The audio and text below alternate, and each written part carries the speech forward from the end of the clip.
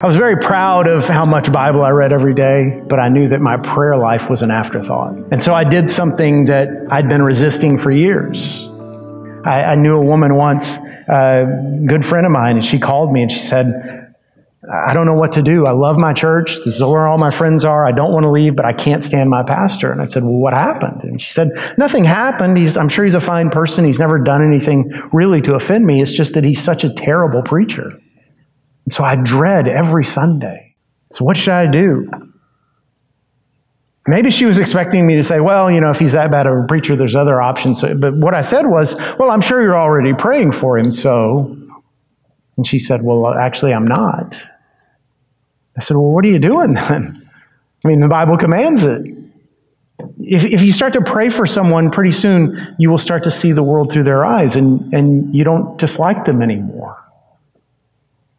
Now, let's all acknowledge there's that really evil part inside of each of us that resists that and says, well, then I'm not going to start praying for them because I enjoy disliking that person. They deserve my dislike. But you need to change.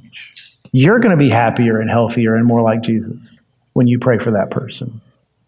And beyond that, there's that person you're in conflict with. Maybe, maybe you're married and, and right now your marriage is not so good. Uh, maybe you're a kid and, and your parents are just on your nerves. You just, you just wish you could leave home and never come back. Or maybe it's, it's somebody else in your life. Maybe it's a roommate situation or a coworker, but there's that conflict that's driving you crazy. The first step is to pray for them. Yeah, but, but they, they're the one that messed with me. They're the one that needs to apologize. Pray for them. Start there.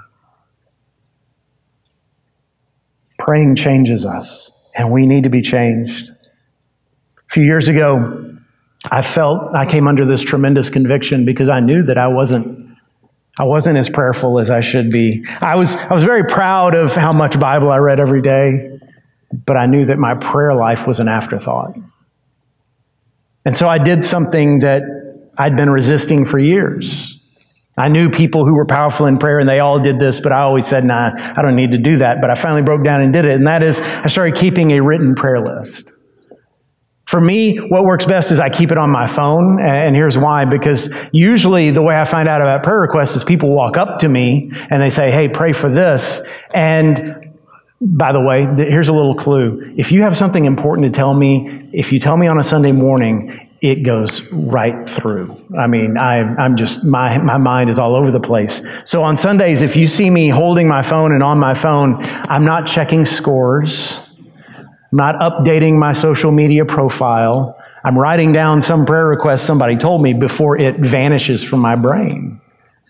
And so I, on this little note app on my phone, I, have got people I know that need prayer and I need, I've got my coworkers here at, at, First Baptist on there and I've got churches that I'm concerned about and other people. And then at night, I have a separate list of all the people I know who don't know Christ. And I've structured it so that I'm, I'm able to pray for my entire prayer list every week. And that's made all the difference for me. I'm not saying I'm, I'm there yet, but it's changed me. It's made me a better person.